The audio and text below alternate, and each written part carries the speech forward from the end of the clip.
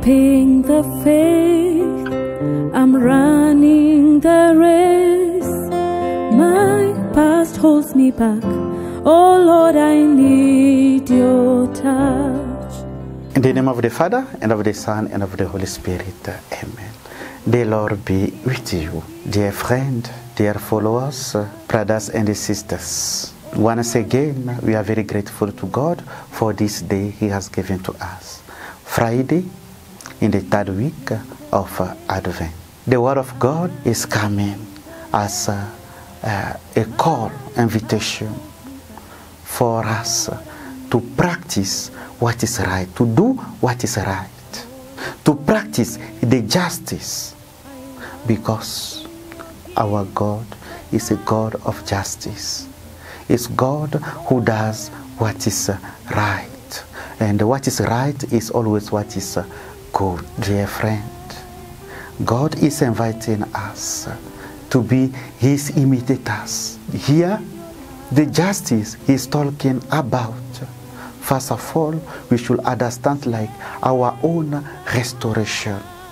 God is coming to do something good in our life. And the things good is going to do is uh, to sweep away all pains, all sufferings, or every challenge we can go through as human beings. God is coming to give us back what our nature is lacking. What are we lacking? We are lacking of many things. That is why we experience the emptiness. That is why we experience uh, pain in our soul, in our heart, and in our body. God is coming to bring us all this. Where God is, is total perfection. Where God is, is total joy. Where God is, is uh, abundance of peace, love.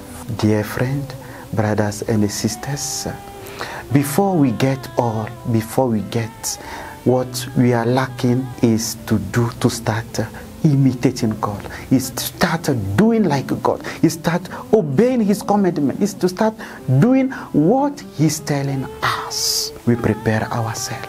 And the Advent season is this uh, moment we prepare ourselves. We wait for the Lord to come as a watchman who does not sleep and uh, wait for his uh, patron, his boss, to come at any time and to open the gate for him, to open the door for him. As also, let us be in this disposition, preparing ourselves and waiting for the Lord to come and to found us worthy and found us ready to receive the gift he's bringing to us. May we pray for one another today that uh, what he tells us to do, brothers and sisters, uh, I invite you to this short prayer. Oh Lord, we thank you for the gift of life. We thank you for your presence in our life. We ask you today to transform our heart, to transform our soul, to transform our mind, to like what is right and do always justice. Your justice. We ask this to Christ our Lord. Amen. May Almighty God bless us in the name of the Father and of the Son and of the Holy Spirit. Amen. Have blessed and a wonderful day.